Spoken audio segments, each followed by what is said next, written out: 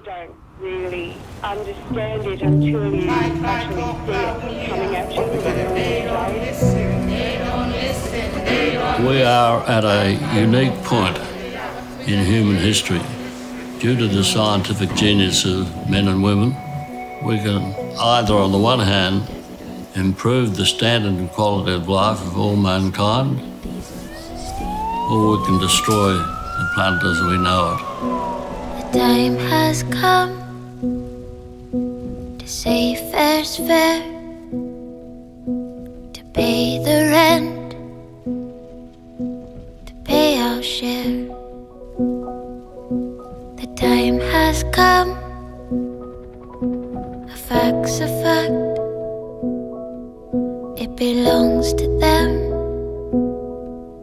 Let's give it back.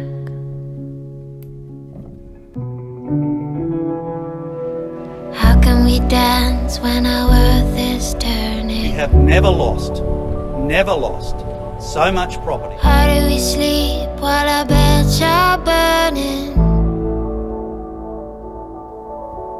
How can we dance when our earth is turning? The Aboriginal community have had a long history of fire management. When Aboriginal people first saw wildfire, they were stunned. You've got to do the right thing by country, and you've got to support that country, and otherwise you don't have identity, and you, you, you don't have a healthy landscape. You can't survive. We burn grass when it's properly dry, but what we're going to do when the whole world There's everything to be gained, nothing to be lost. And Aboriginal people had a history of achievement. Let's learn from them. From Kintore East to Yuendumu western desert lives and breathes in 45 degrees.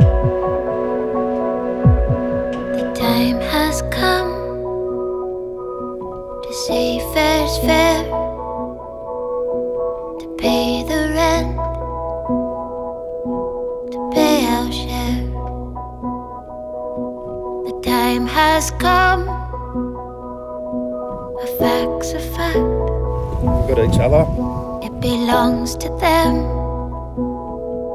Let's give it back.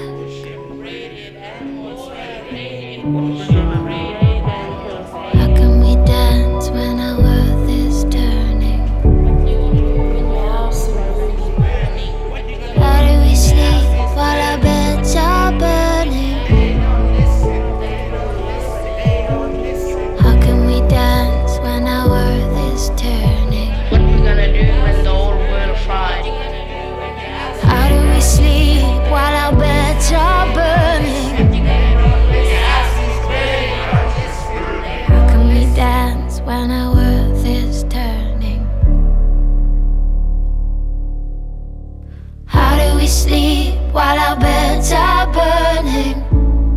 This is about the younger people coming on behind you. Are they going to have a habitable world? We've got to do our very best to ensure that they do. How do we sleep while our beds are burning?